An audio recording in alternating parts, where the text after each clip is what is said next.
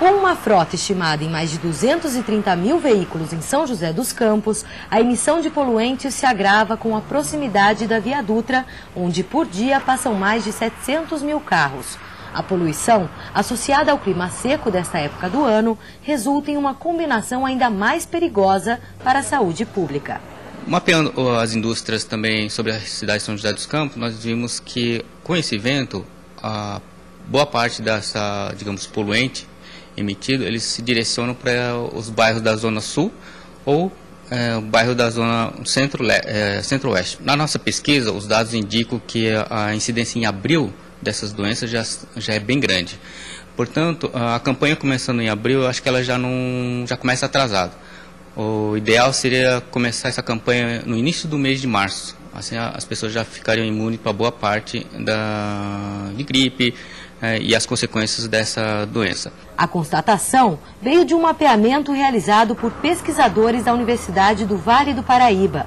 Durante oito anos, eles coletaram dados da Secretaria Municipal de Saúde sobre atendimentos por doenças respiratórias em crianças e idosos. Observamos que a região sul né, do município é a região com maior incidência de doenças broncorrespiratórias. Apesar dos resultados, São José dos Campos conta apenas com uma estação de monitoramento de qualidade do ar.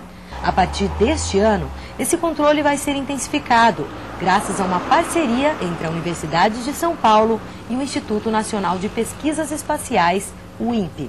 Ao todo vão ser investidos 9 milhões de reais no programa.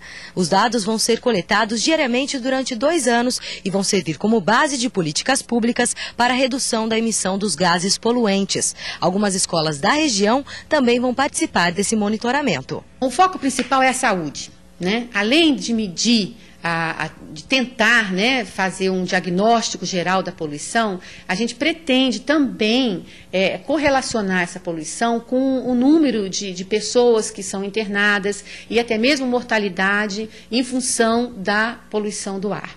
Trânsito, indústrias. A partir do resultado obtido pela pesquisa, o objetivo vai ser despertar a consciência de cada um e propiciar melhor qualidade de vida para mais de um milhão de habitantes. Em relação aos veículos, ah, é mais complicado, porque é, depende de cada um de nós, né? Na diminuição, manter o carro regulado, é, usar com parcimônia, você é, melhorar transportes é, coletivos, inclusive, enfim, uma série de, de atitudes a gente pode tomar ah, a partir do momento que, que se percebe né, o quanto a poluição pode prejudicar a sua saúde.